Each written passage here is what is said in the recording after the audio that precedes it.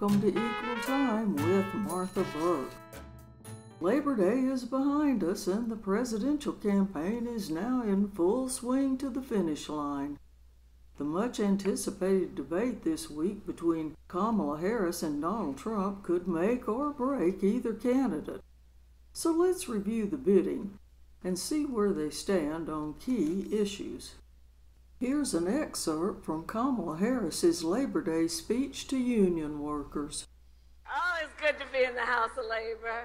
So it is so good to be with so many incredible leaders. We know that when we organize, when we bring everyone together, it's a joyful moment, lifting up America's families.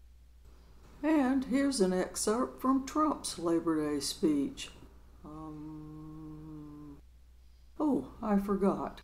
He didn't make one. But never mind, there are plenty of other issues to compare the candidates.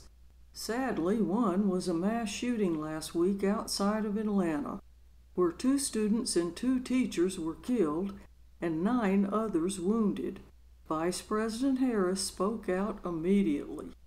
We have to end this epidemic of gun violence in our country once and for all. You know, it doesn't have to be this way. Trump couldn't be bothered with a live comment. Instead, he posted on his Truth Social account. Our hearts are with the victims and loved ones of those affected by this tragic event. These cherished children were taken from us far too soon by a sick and deranged monster. He ought to know.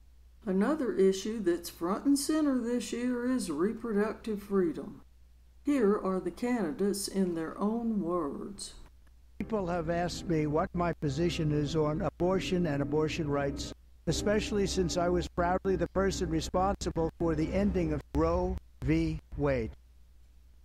In America, freedom is ours by right. And that includes the freedom to make decisions about one's own body. The logistics of the debate are settled no live mics while the other is speaking, but nonverbal behavior can often speak for itself.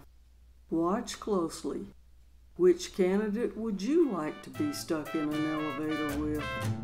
Thanks for listening to Equal Time. I'm Martha Burk.